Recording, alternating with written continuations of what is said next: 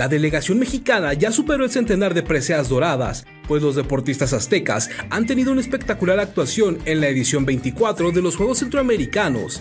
A continuación, te presentamos un resumen de la actividad de los mexicanos en los Juegos Centroamericanos y del Caribe 2023. Marisela Casilla ganó la medalla de bronce en patinaje de velocidad. Edson Ramírez y Andrea Palafox ganan la medalla de oro en la final de rifle de aire de 10 metros en la categoría de equipo mixto en el tiro deportivo. Jorge Luis Martínez gana la medalla de bronce en 200 metros en el patinaje de velocidad. México gana una medalla de oro más en la categoría del equipo femenil en boliche. Ana Hernández, Andrea Becerra y Dafne Quintero se llevan la medalla de oro por equipos en tiro con arco. William Arroyo gana la medalla de oro en la categoría Punsae individual freestyle en Taekwondo.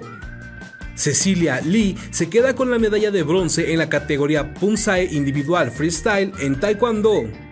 Juan del Río, Miguel Becerra y Sebastián García ganan la medalla de plata por equipos en tiro con arco. Los clavadistas Diego Valleza y Viviana del Ángel ganan la medalla de oro en la plataforma sincronizada mixta.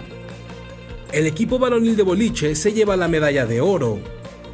La mexicana María Morales se cuelga la medalla de bronce durante la modalidad espada individual de esgrima.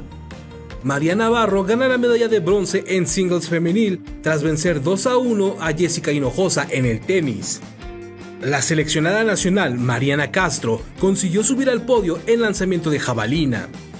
El mexicano Diego García finaliza en el segundo lugar de la prueba de 500 metros varonil de atletismo. El seleccionado nacional Guillermo Campos logra el segundo lugar en la prueba de 400 metros vallas varonil de atletismo. Así amanece el medallero de los Juegos Centroamericanos el día de hoy. Si te gustó el video, no olvides dejar tu like, activar la campanita de notificaciones y suscribirte para estar al tanto de lo que pasa en el mundo deportivo.